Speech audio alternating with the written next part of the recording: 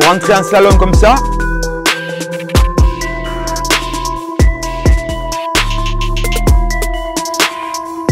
Ouais, Samy.